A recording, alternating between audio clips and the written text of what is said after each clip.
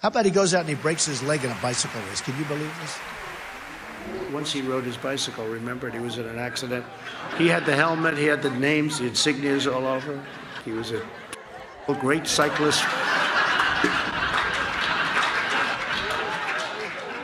And he fell, he broke his leg and his arm. Other than that, it was a wonderful day riding a bicycle.